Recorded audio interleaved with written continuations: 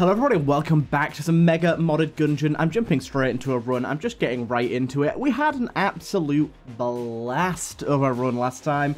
We've been doing some shenanigans with the spin down dice. It's been allowing us to see a lot more modded items than we would usually see. Uh, spin down dice is still in a state where it needs some tweaks and fixes and rearrangings to make it a little better. Do you know what? I'm gonna re-roll for a better modded start. I want I want to try and re-roll to get something halfway interesting and that there wasn't really wasn't really that. I'm hoping for two moddeds or at least one mod modded decent passive.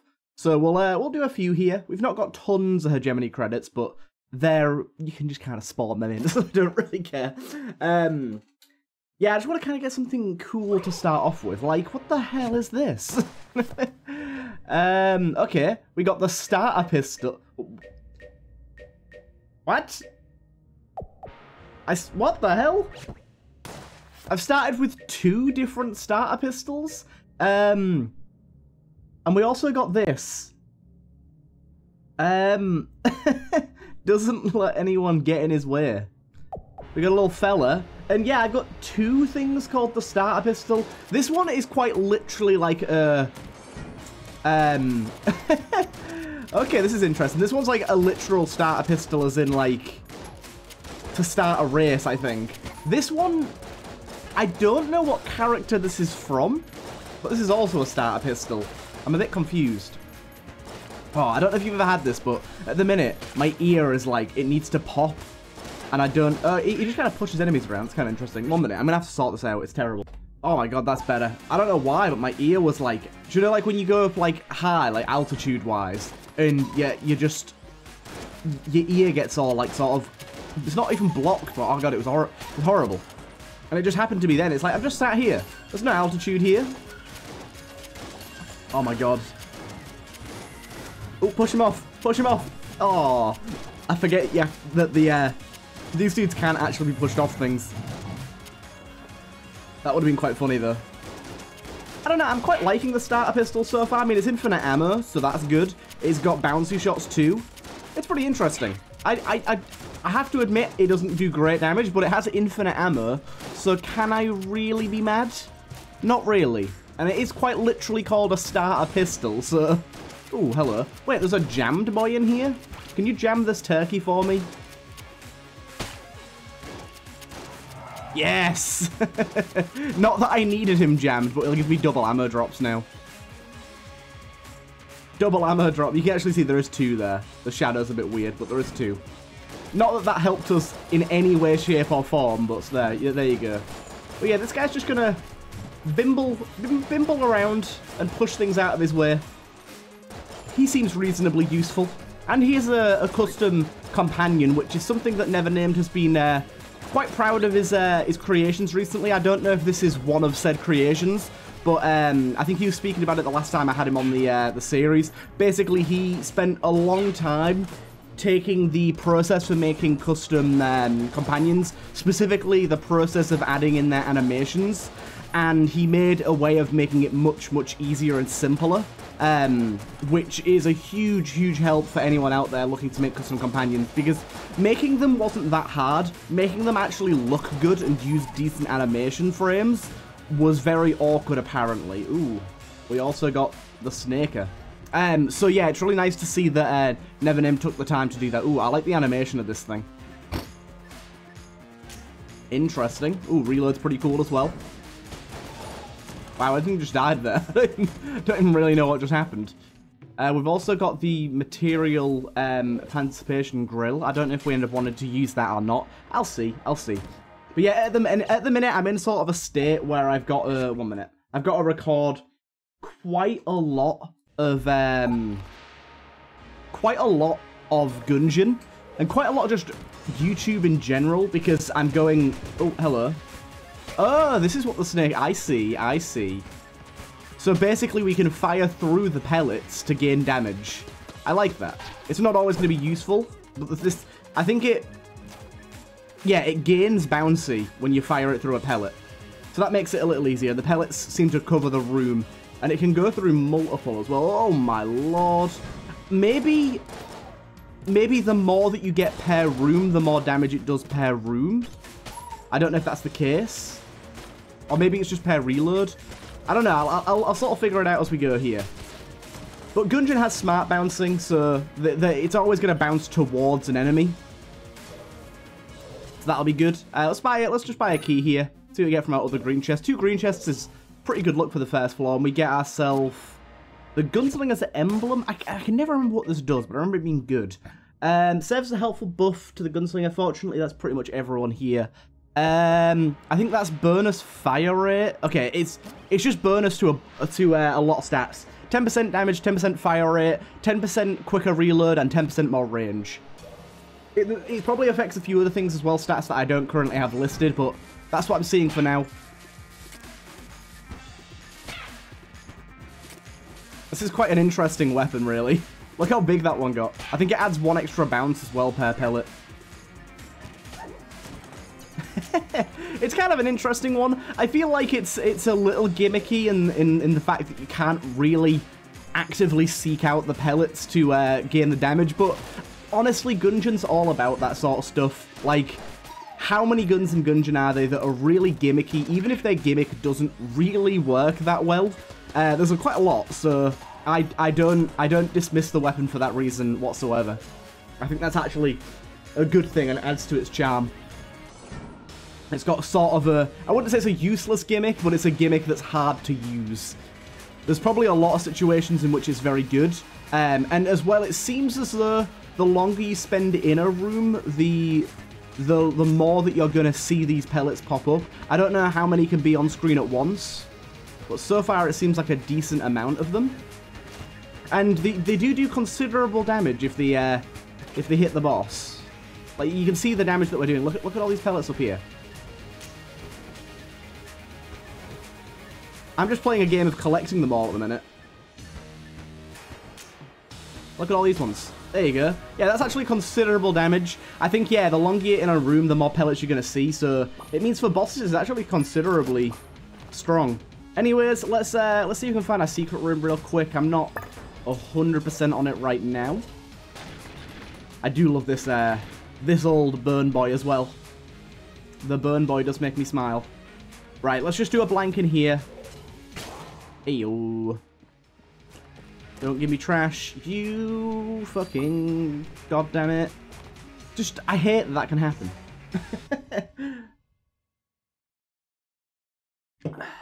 right. Let's keep her going. Let's keep her going. I'm going to keep using the snake thing. It doesn't have a ton of ammo, but I think that's enough to make it work. Basically, I think this this weapon's going to be one of those ones that kind of excels in the really in the really big rooms uh, that have very little geometry. But in rooms such as this, you're going to have to just kind of use it as a standard weapon and hope for the best. Rooms like this is what I mean. In rooms like this, especially when there's a lot of enemies, I can imagine us getting quite a lot. Like, I mean, you saw that bounce there. I can imagine us getting quite a lot out of that. You've got a one shot there. Ow. It's going to be kind of interesting to see how this uh, this ends up panning out. I, I would love to see some of the syn synergies this thing has. Like, I imagine this thing has a synergy with the Tetris gun, just considering it's uh, both retro games. Um, I don't know how exactly that would end up working. I don't know what the synergy would be.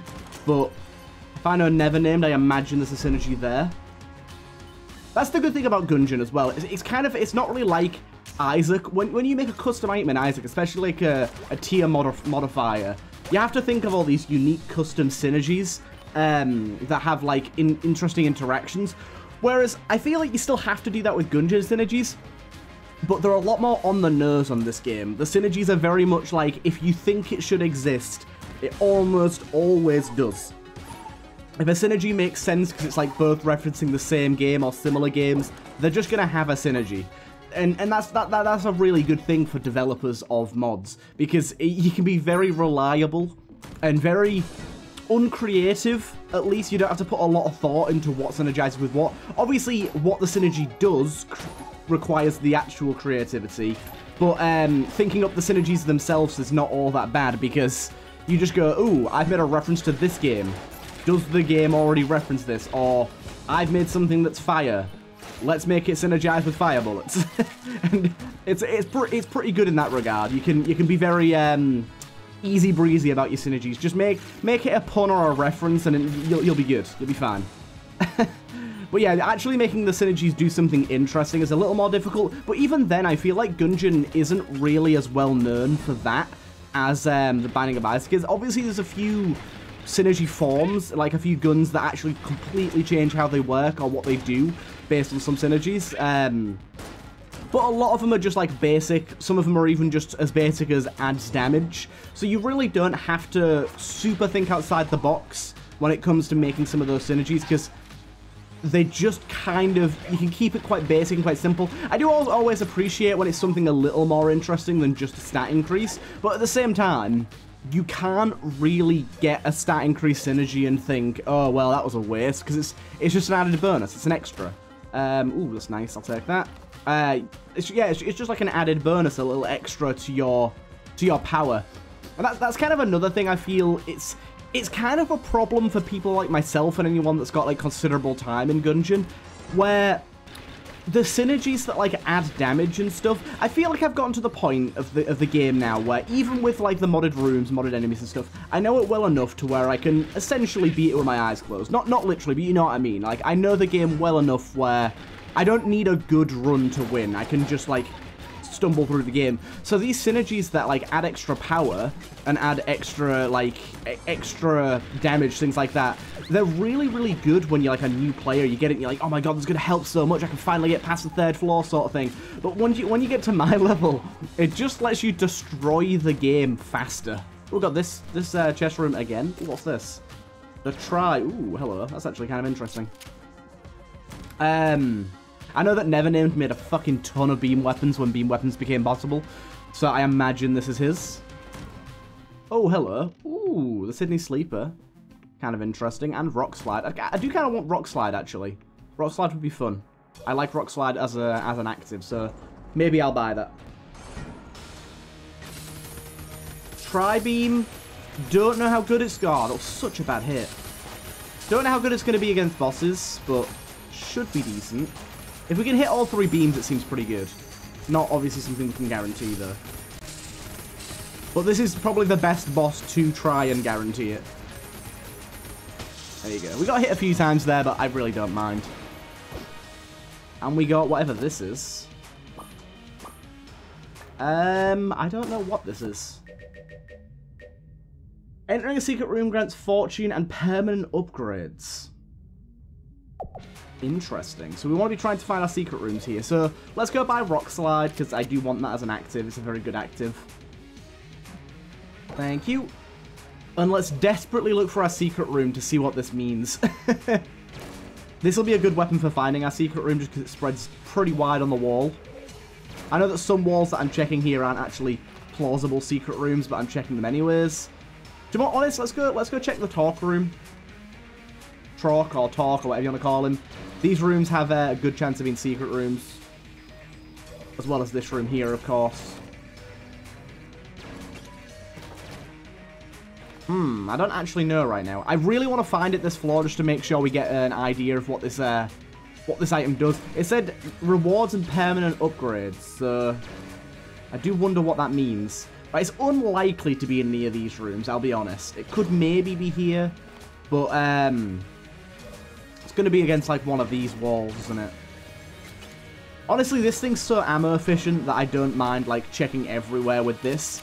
It's going to take a bit of a bit, of a bit of time. It's going to be a bit tedious, but I think we should do it. Right. Uh, check through here.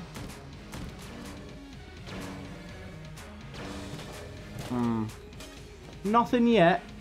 Nothing yet checking a lot of places that it's not even plausible to be in, but I'm just making sure I cover all my bases so you guys can't be like, you missed it right here.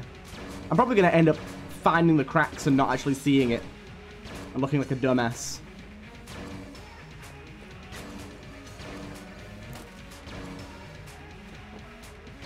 Hmm. Nothing so far. Right. I'm losing hope a little bit. losing hope a little bit here. I really don't know where it is at this point.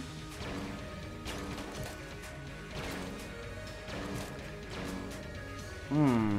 I checked this secret room, didn't I? Yeah, I did, yeah. It could be in the shop. Damn. I, I literally have no idea. We've checked every wall. Down we go. No idea. I really hate secret rooms in Gungeon, to be honest. Like, compared to the Binding of Isaac, once you get to about like five, six hundred hours in Binding of Isaac, it's just second nature being able to find them. You're not always right, but you have a really good inkling of where they could be. This game, it's like, nah, fuck you. you have no idea. You have absolutely no idea, and there's no real way of knowing. It's just check the item rooms and shop and end elevator, and just hope for the best.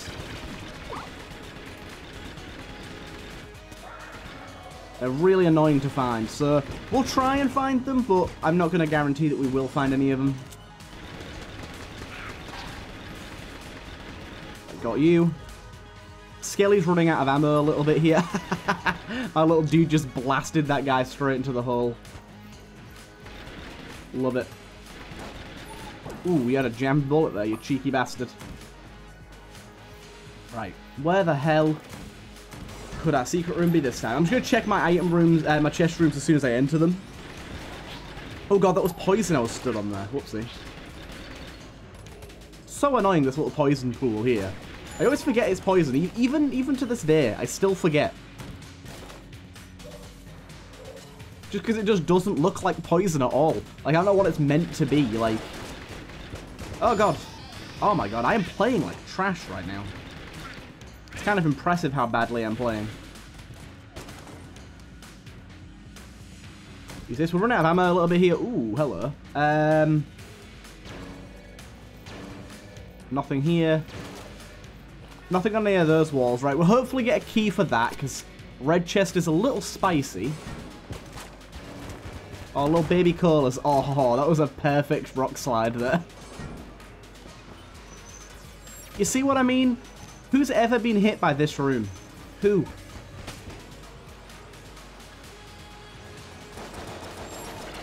Okay, my, my magician friend is doing a good job right now. God damn it. Hopefully we just find a key, but we're probably going to have to buy one. Oh my god. I don't know what's going on, people. I'm just playing so bad right now.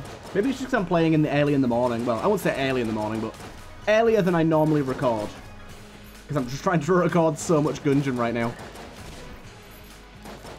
Gungeon's one of those games that I find a little difficult to record nowadays. I, I, still really enjoy playing it, but it's just, it's different than Isaac. I think Isaac, it's so much easier to talk about what's going on in game, because I, I feel like that game still has a lot of, um, a lot of problem solving and sort of, there's a lot of ways you can still die, even if you're very good at the game, slash have a long uh, period, like sort of a a long history in the game, a long amount of playtime, I still think it, there's, there's so much that can go wrong and so much sort of problem solving and sort of correction for, for errors made or like bad RNG that you have to do, that it's really easy to talk, and obviously there's a lot more characters, but I think it's a lot easier to talk more about the game itself and how it's playing to sort of fill in the gaps, whereas Gungeon, I feel like it's one of those games, at least for me, where I, I've kind of said all I can say about the game itself at this point. At least in the regard of, like, tips and tricks sort of thing. Like, I can still talk about what, what I'm doing and kind of explain my decisions, but most people, at, the, at, this point at least, are probably watching more so to see the cool modded shit and see, like, the, the interesting modded items that I get. And especially, obviously, the, those that developed said mods, watching to see their, um, their creations be played around with, see what see what I think of them, see if I find any bugs, which I, I normally tend to do, all that sort of good stuff. So it, it is kind of different, and it does make it a little difficult, especially, I think the main thing it makes difficult is something that I try to avoid doing whenever possible, although at this current stage I don't really have the choice, um, is backlogging and, and like recording a lot of this game in one session.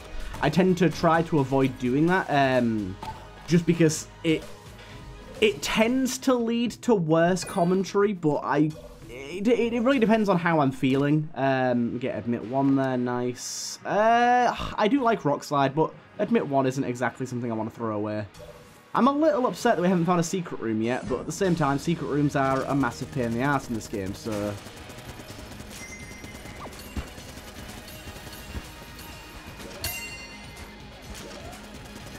I don't mind. Playing like absolute shit right now. I mean, to be fair, I'm playing to this gun's strengths, and I feel like playing to this gun's strengths is a bad idea. I mean, look at look at all the pellets, though. There's so many. Kind of insane. I might die. If I die, I'm going to leave it here. But there is a chance. I want to save my blanks, though. I want to try and find a secret room. my god. Oh, give me the Dungeon Eagle? That's gross. Right, let's let's let's trash the Dungeon Eagle. Come on now. I'm not I'm not taking that. Um You can have my burn gun. There you go. I'll see what I'll see what it gives me. Take my bones.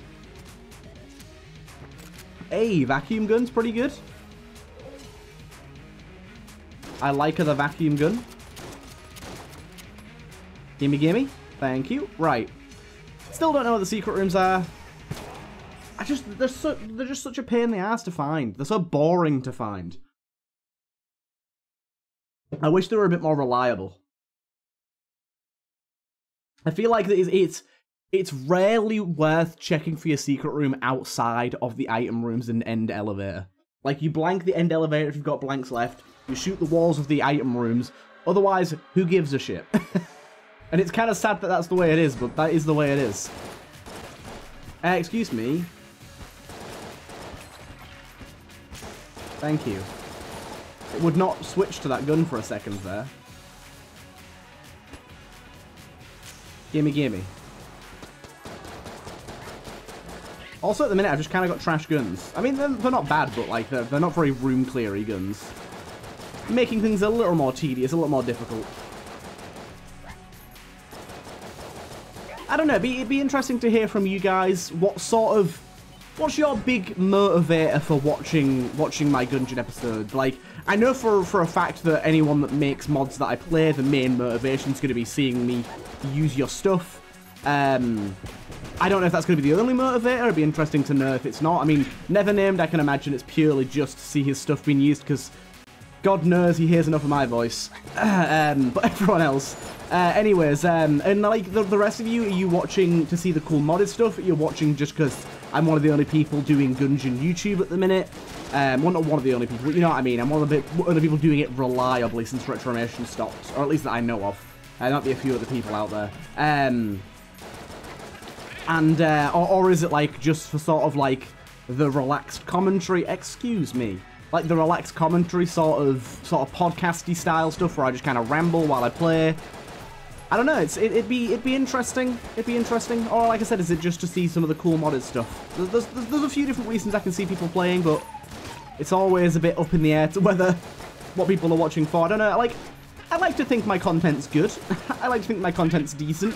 It, Gungeon's Gungeon's probably my the the series that I'm least confident in in terms of how entertaining it is just because I, like I was saying earlier, I feel like because it doesn't really have the same impact as it used to in terms of talking about the game as much and it's kind of talking normally as I would in sort of the Binding of Isaac videos that I do, I feel like it hinders the quality of the commentary a little bit, at least in my eyes, but people still seem to be watching the series and enjoying it a lot, so maybe I'm wrong. Maybe I'm just, like, not confident in it for no good reason. There's certainly that possibility as well. Do you know what? Get, get my bad boy in here. Um, certainly that, that could be the possibility there as well. Um, I, I feel a lot, I don't know, I'm just saying sort of, I feel a lot more confident in my, um, in my Isaac series. I, I, I, I very rarely walk away from one of my Isaac episodes sort of disappointed with an episode. Honestly, I have to say I'm, I'm never I'm never usually disappointed. Oh my god, this ice! I'm never normally disappointed with a with a Gungeon episode either, but I feel like it's potentially more so than it would be with um with an Isaac episode. Wouldn't let me reload for a moment there. I love rolling on the ice. It's so funny. Also, I just feel bad because I've got a bit of a cold at the minute and my voice is a bit groggy, but at the same time, like I said, I have to backlog because I'm going home and I, I want to make sure you guys have videos for a for a few weeks. Well, it's like it's like a week and a half. I want to make sure you guys have videos for that week and a half, so I don't want to let people down. Okay. This thing's running out of ammo, but th this thing is very good. Oh, I, I, I dudded that ammo by trying to pick it up with a vacuum then. I'm stupid. You gotta remember you can't do that. Oh, the Phantom Pistol. I mean, not a bad gun at all, but not really what we're looking for. Honestly, we might die here just because I'm playing like trash. I don't, like I said, I don't know if it's because I'm playing early, because I'm a little bit ill, or... I'm just really not focused, I don't know, but... We ain't playing so hot. We ain't playing so hot right now.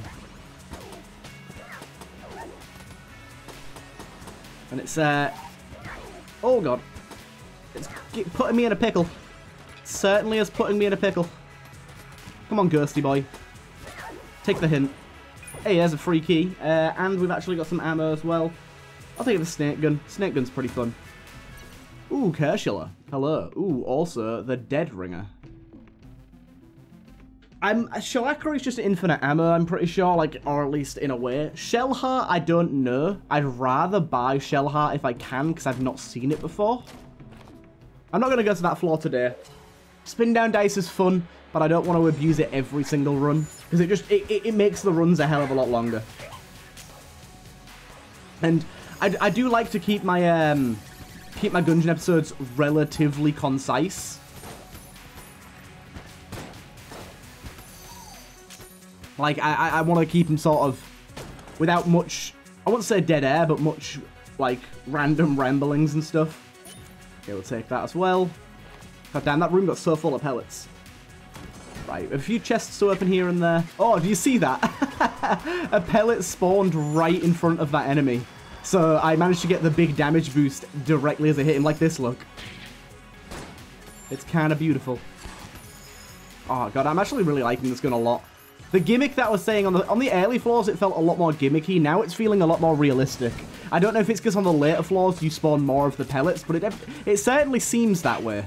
It certainly seems that way. On the early floors, I felt like I was like getting a few per room. Now it feels like I, I wait like two seconds and the room is full of a million of them.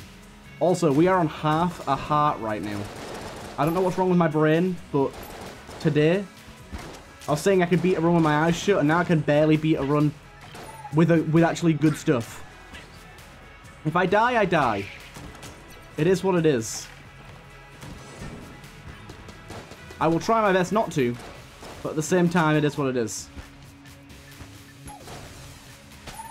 I like the way you've used the uh, the proximity mine sound for this gun. it fits quite well, actually. Oh, we got the ice pick. And what do we get for our other? Gasoline. Ga ga ga ga gasoline. Right, away we go. Let's fight our boss. Oh wait, can we buy the um the heart thing first? Because it might give us HP. Shell heart. Damn. Let's have a look what that does. Uh, armor damage no longer prevents mastery. Oh, that's actually pretty good. Not very useful right now. I mean, I feel like that should at least give you one armor on pickup, maybe? But, hey her. Um, maybe try this. I don't know how good it's going to end up being. I actually think it could be pretty good. I mean, a lot of the pellets are going to spawn behind him, which is a problem. In fact, I think basically all of them have managed to spawn behind him. Oh, no, there you go. Okay, we can use our bird as a, as a walking wall. Okay, he is he is getting knocked around a little more than I'd like for a for a, a walking wall. Oh my god, bird, stop. There you go. That went that went considerably better than I was expecting it to. I was really expecting to die there, I'll be honest. Oh, snail bullets is pretty good. We actually got quite a lot of healing there as well. Nice, nice. To the next floor.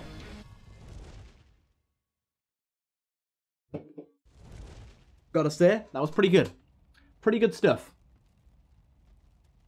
Let's keep this moving and grooving. Right, um... Not really got much in the vacuum gun. I need to be sucking up more fellas, to be honest. I need to be sucking up more dudes. Fill that bad boy up a little bit. Because it's actually a very, very strong weapon, so... Filling it up as much as possible would be a good idea. Oh my god, I got hit there. Still not found a single secret room, but at this point I've kind of given up trying. Give me you.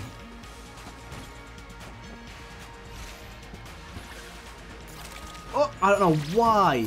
I just forgot how that guy shot then for, I don't know. Like I said, my brain is like not really working at full capacity today. I'm not quite sure why, but something ain't right. Ow. I told you, something ain't right. Okay, can you guys stop buffing each other? It's very annoying. Why am I immune to fire now? What, what, what gave me fire immunity? I mean, I, I definitely like it, but I'm a little confused as to what gave me it. Oh, probably gasoline, right? Ah, I got hit again. Oh my lord. Check what this is first. Blank shop. Hmm, okay. Okay, okay, okay. Oh, fuck. I might die on this guy, I'll be honest. This is a very cool boss, but it's a difficult boss. And we don't really have boss-killing weaponry. I'm really just hoping that I get enough meaty, uh, meaty bounces on this weapon to do the job. And my, uh, my Gatling gun just helps me out a lot. But this is a, a boss that I, I consider to be quite a difficult one.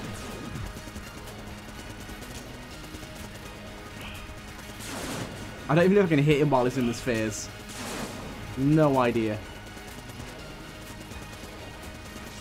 I think I can. Yeah, there you go. He died.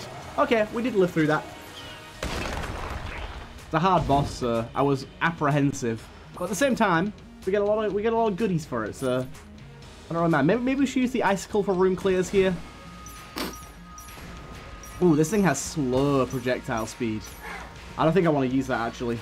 Very slow. I'm really liking this thing, to be honest. Snake gun is just fun. It's like it's like I'm playing a mini game every room. I like it. Right, keep moving. Oh, we got a lonk door. And it's locked. Still annoying that the NPC doors can be locked. At least it's not like locked shops. Do you all remember locked shops? Ugh. Ooh, that was rough. And key strats as well. Gungeon was weird back in the day. Gungeon was weird. Before AG&D, Gungeon was in a proper... Oh god, I got hit so many times then. Gungeon was in a proper rough state. Like, you used to have to leave keys on the floor to make sure keys appeared in each shop. Key doors could be locked ammo drops were basically one of the rarest things on the planet. like, you used to have to basically use your starter pistol until floor 3 if you wanted the ammo to actually progress through bullet hell. It was kind of ridiculous. And, and then, like, AG&D obviously changed a lot with the loot pool, and then, like, obviously the synergies was a big deal as well. It's just kind of crazy how much the game changed. Like, the game was still fun back then as well, but I think it was a lot less fun over time. I think if you played it for long enough to to recognize those patterns and, and be, be at the skill level where you were aiming to do a bullet hell run every run, that really created a very tedious gameplay loop where you were you, you felt like or at least I felt like I was constantly um constantly trying to conserve ammo. It was such a pain in the ass. Oh no.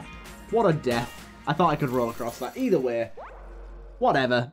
It's a short run, but there you go. That happens sometimes. Hope you guys enjoyed nonetheless, and I'll see you guys in the next one.